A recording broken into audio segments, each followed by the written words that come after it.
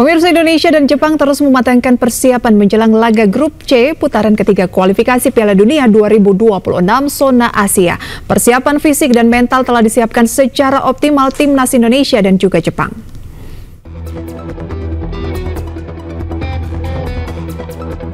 Indonesia mematangkan persiapan mereka dengan menggelar sesi latihan di Stadion Madia Senayan, Jakarta.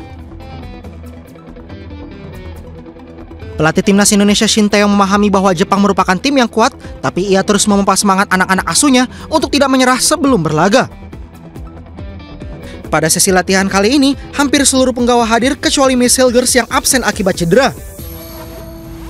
Sedangkan back FC Copenhagen yang baru resmi menjadi warga negara Indonesia Kevin Dix juga ikut berlatih setelah tiba di Indonesia pada Selasa pagi.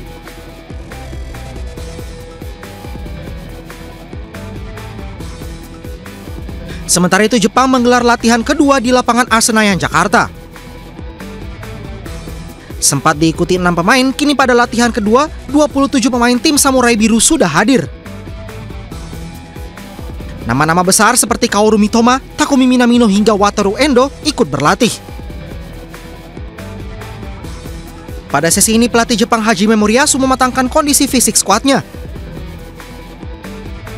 Hingga sesi latihan kedua, Jepang selalu menerapkan protokol keamanan yang ketat agar strategi permainan bisa berjalan lancar.